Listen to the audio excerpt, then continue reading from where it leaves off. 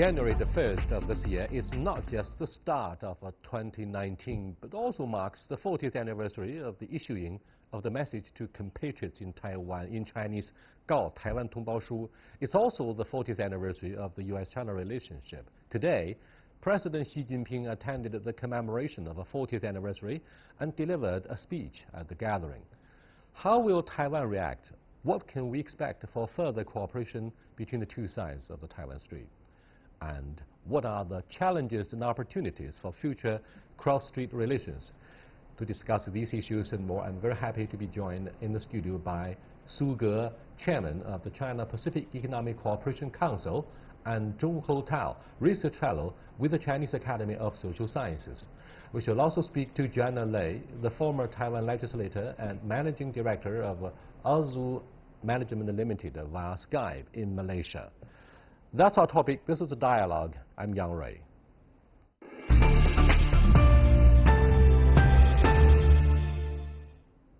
Welcome to our studio discussion here. It's actually a very um, important brainstorming following the historic speech delivered by President Xi Jinping to commemorate the 40th anniversary of that important message. Now, I noticed a very interesting word yeah. that's used repeatedly by President Xi Jinping in his policy presentation, rejuvenation mm -hmm. of the nation.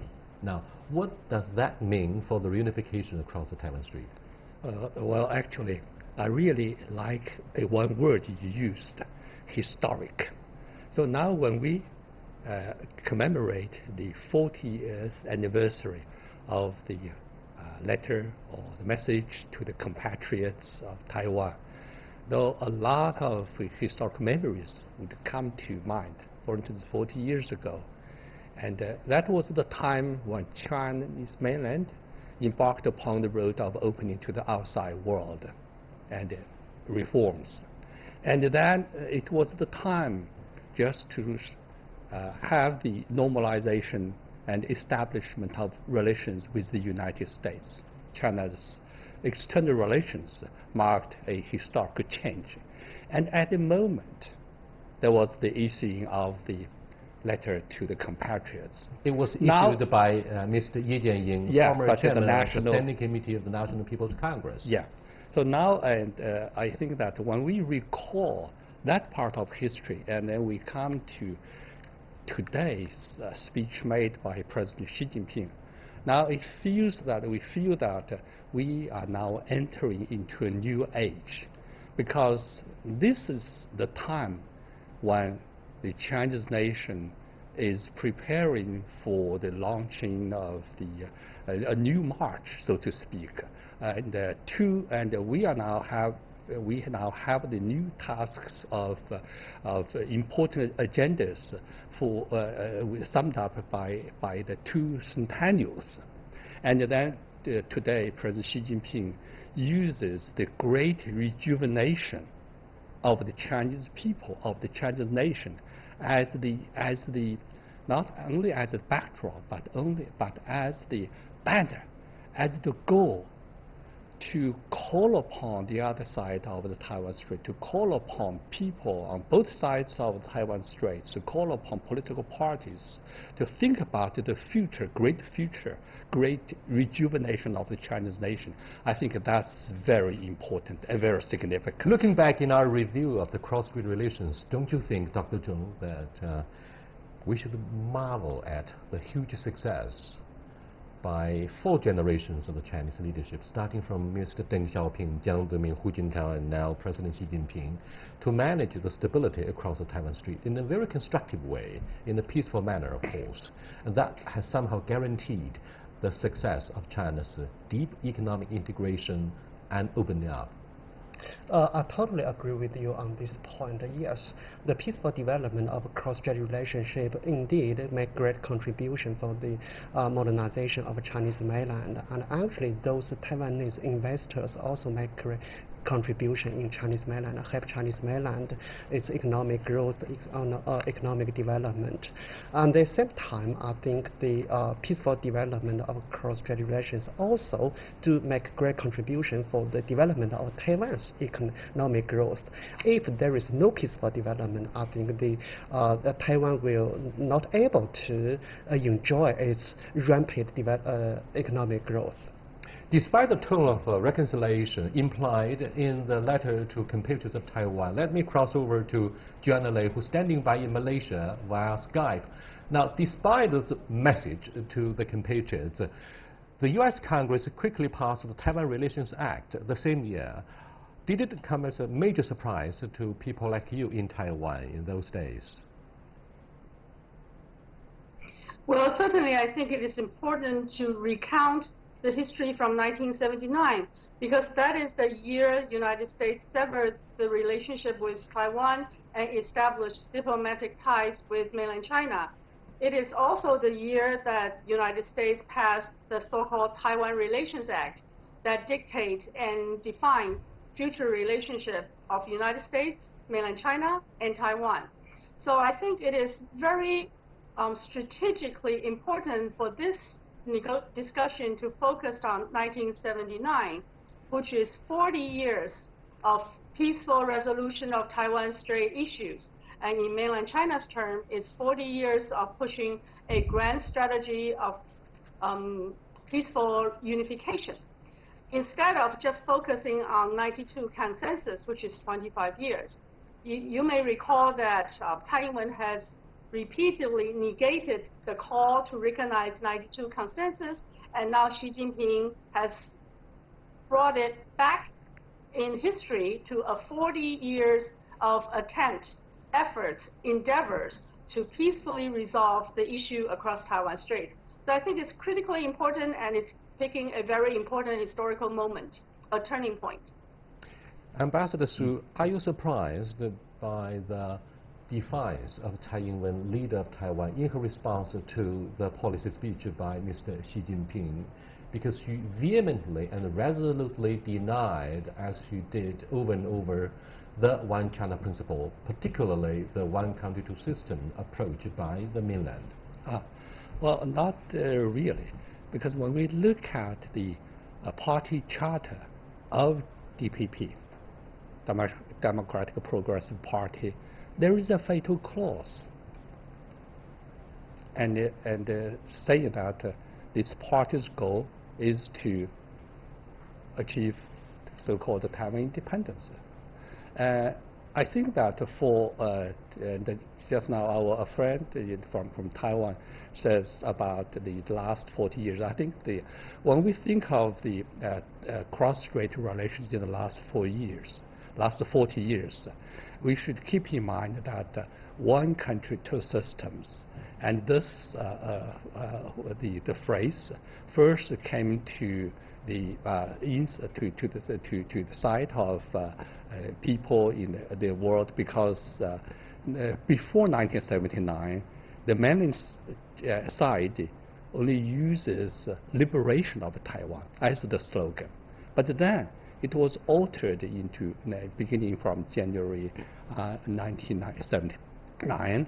It was uh, the policy was altered into one country, two systems, peaceful reunification. It's not just the unification, peaceful reunification, because there is only one country in the world, world. and uh, and because of the uh, of the uh, international the change in international uh, arena, China and United States established diplomatic relations. China wanted to have a reform and to, to be open to the outside world. And as our friend uh, Teng has uh, said that uh, both mainland and Taiwan benefited from this historical period of 40 years. I think that for United States China, we were able to develop a economy, economic relationship that is complementary to both sides. Those who followed very closely the development across the Taiwan Strait uh, would argue strongly that in fact the factor in the U.S.-China relationship is Washington. Exactly. It is Exactly. Washington. It is exactly Washington that has prevented the two sides from achieving peaceful reunification. And in his uh, latest policy speech, President Xi Jinping said, we would never ever uh, renounce the use of force and the non-peaceful means in addressing the issue of Taiwan. Obviously, in the understatement, he was referring to the role that Washington played.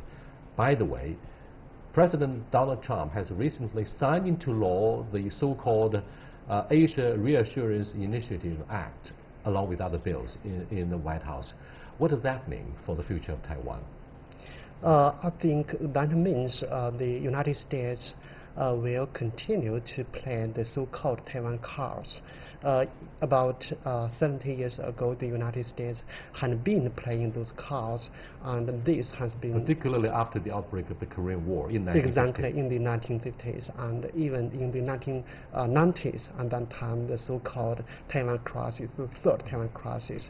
The, so the United States just take Taiwan as uh, uh, a bargain to uh, press to press Chinese mainland to exert more pressure on Chinese mainland. Especially now, the United States is trying to construct a so-called India-Asia uh, Pacific India-Pacific strategy. So uh, it is just taking Taiwan as a bargaining chip to ask Chinese mainland to take more compromise on some economic issue, on trade issue, on some other issues. So uh, in this, I mean, uh, the United States will continue to play this card, but I think that would be a bad news for Taiwan authority, for Taiwan people. They will become uh, a, a victim for the uh, uh, the the the, uh, the friction between Chinese mainland and the United States. I think the Taiwan authority and Taiwan people should become much more clever, should be much uh, smart enough to know where they should stand. They should know that uh, it is much better for them to keep a balance between Chinese mainland and Taiwan. They should not uh, over uh, uh, over bank on the United States. They should know to keep a uh, way. Open secret, Joanna, is uh, Washington has formally established uh, mainland China as the strategic competitor in, and in the understatement, enemy number one of the United States in the foreseeable future. Having said this, uh, uh, we, we were also discussing impact of the uh, Asia Reassurance Initiative Act passed by the Congress jointly and signed into law by President Trump. Don't you think there is somehow a shade of difference in the tone and wording of uh, Madam Tsai Ing-wen in her New Year's address about the cross-strait relations? For the very first time, we are aware that Tsai Ing-wen used Republic of China in Taiwan, a, a phrase that she was never able to use before. What does that mean? Well, the Republic of China in Taiwan was used by the prior KMT government, and she is very aware of its political significance. Let's take a look at what Donald Trump had signed into law, which is the Asia Reassurance Initiative Act.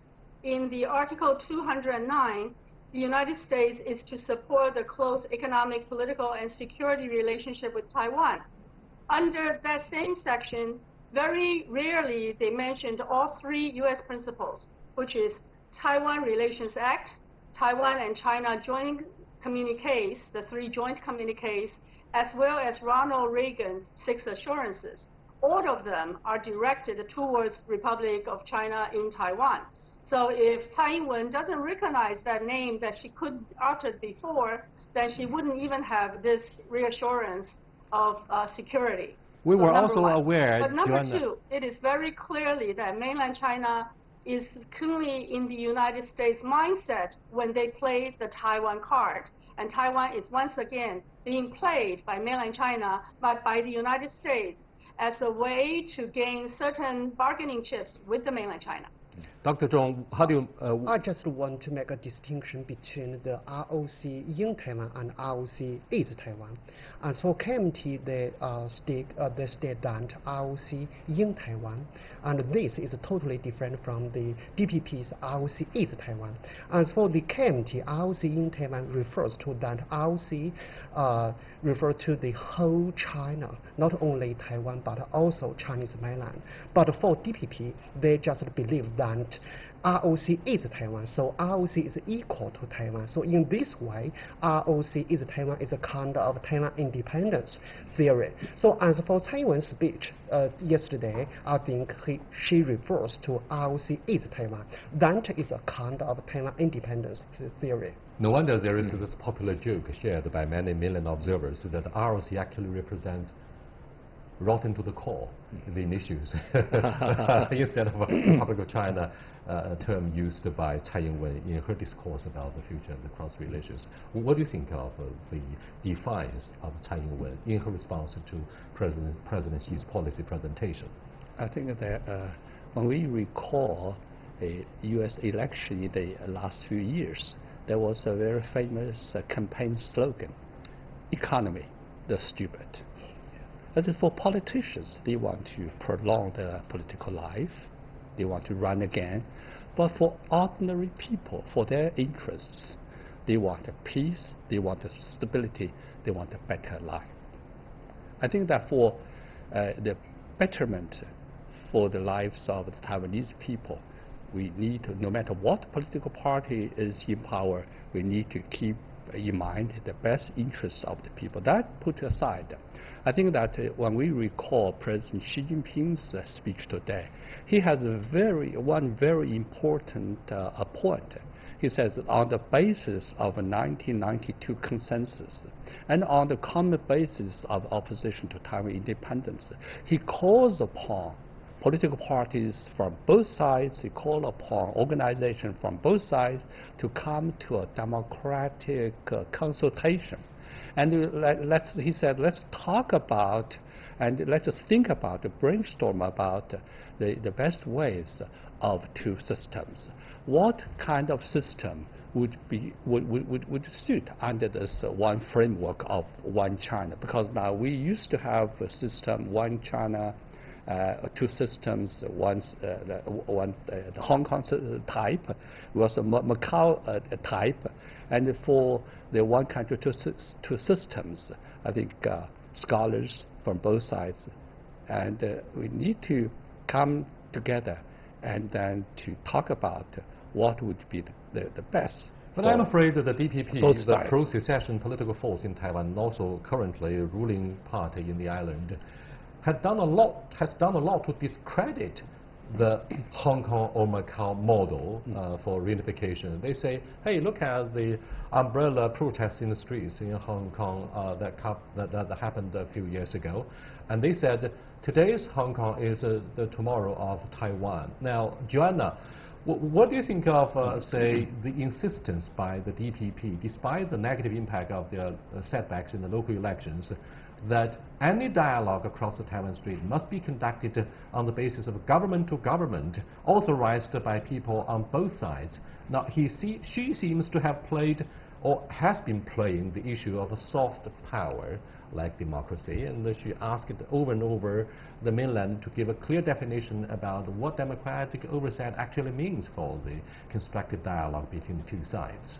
Now, can I have your uh, perspective in analyzing the defiance of Tsai Ing-wen?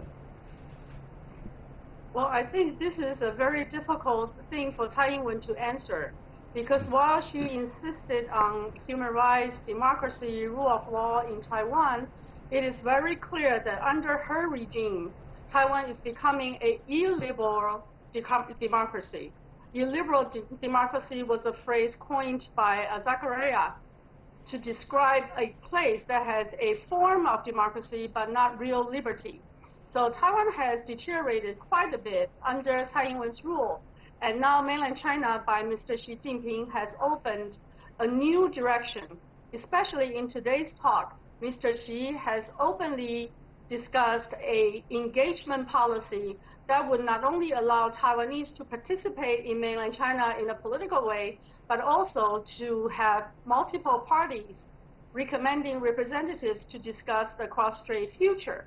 And that invitation to an open door policy, that invitation to a direct confrontation, co consultation and negotiation for the future, one country, two systems, or one country, two administrations, is something that come at a time when DPP is at its weakest in practicing democracy, and mainland China is in its strongest in economic development. So while the two sides have shown ebb and flow over the last years, this time Xi Jinping offered Tsai Ing-wen something that is really, really hard for DPP to refuse.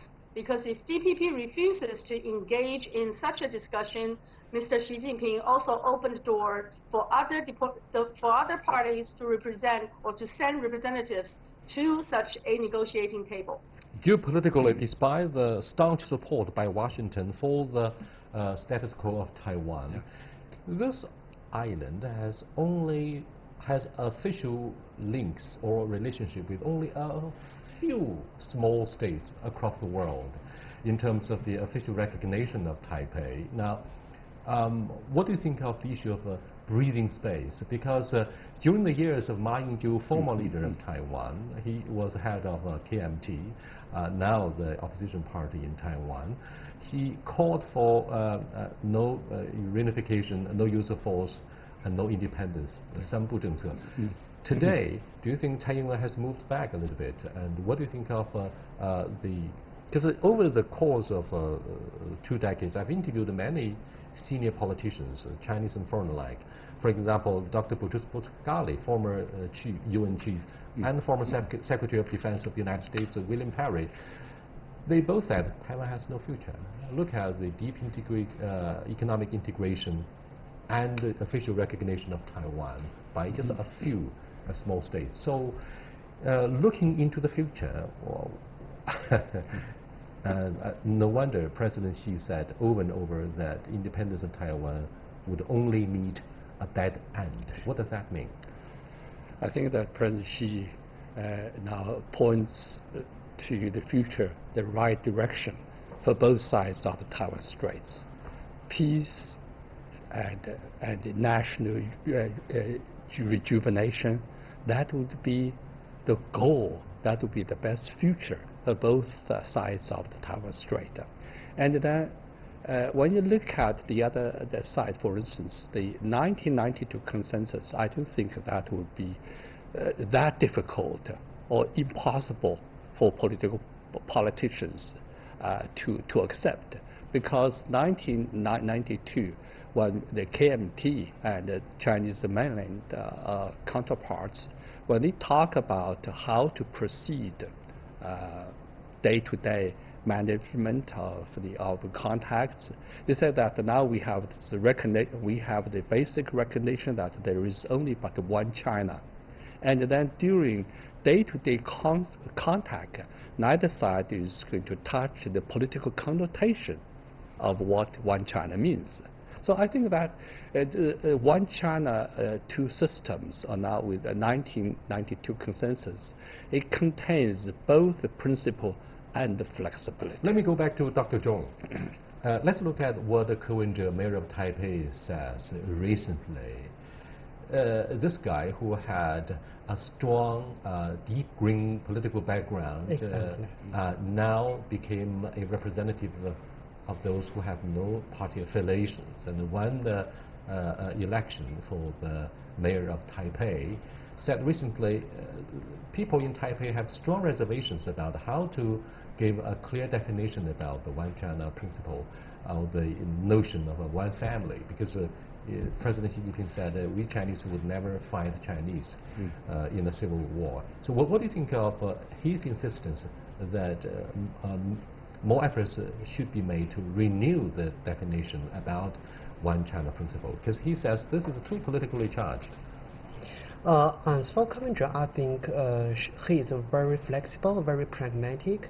Just as you say in the past, uh, he was deep-rooted, but after he became he was deep-rooted in the deep green. Uh, deep, deep-rooted in deep green, exactly.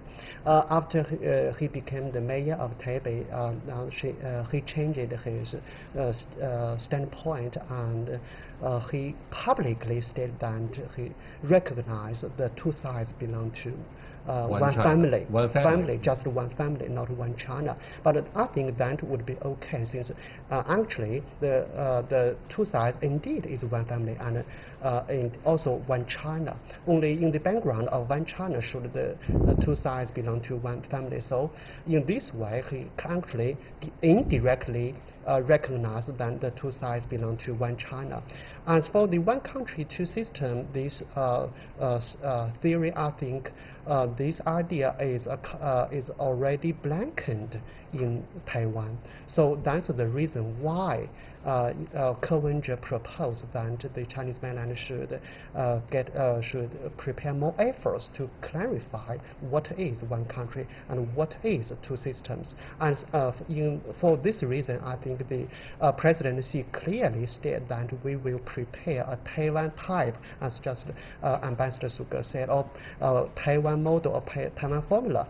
Does it mean there will be big differences between the model of Hong Kong Of and course, of, of course. in the future? because we uh, the Chinese mainland is uh, or uh, is uh, continue to develop its uh, ideas, its deployment. But whatever the mainland advocated for has been demonized and discredited by the DPP for years. So let me go to Joanna Lei. Um, uh, given the growing tensions between the two biggest economies, uh, I'm talking about the trade war, but also trade war, a lot in the mainland uh, pointed out is only a tip of a huge iceberg in terms of the geopolitical rivalry and the competitions between Washington and Beijing. You launched uh, unilaterally by President Trump and his super hawkish uh, team in the D.C. Now, uh, do you think Taiwan will turn out to be the most dangerous and devastating flashpoint among all other uh, dangers, such as the Korean Peninsula, Diaoyu Islands, and the South China Sea?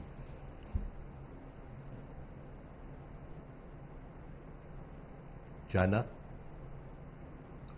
Well, I'm currently in Sabah, which is at the bottom of the U lines. And looking from this perspective, I certainly hope that Taiwan will not be the flashpoint. The United States has established a really strong battle line, Indo-Pacific, from Indian Ocean all the way through Hawaii and the west coast of the United States. And with such a long line, Taiwan holds a very critical position. Therefore, I think Mr. Xi Jinping made it extremely clear to the quote-unquote external forces that if anybody should try to meddle with the cross-strait issues, that certainly would include the United States or Japan, Taiwan will probably receive the short end of all the political and potential military consequences. And I do hope that the leadership in Taiwan, especially Tsai Ing-wen, will hear this clearly because with all the open door invitation, there is a very clear precondition. The condition precedent of a peaceful unification and open discussion for cross-strait issues resolution is a one China policy or one China perspective. With that being recognized by Tsai Ing-wen, everything can be discussed, consulted. And if that is not established, and especially when United States come into this particular issue, then Taiwan will be in a really dangerous place. So I think the key holds in two people's hands, Tsai Ing-wen and Donald Trump.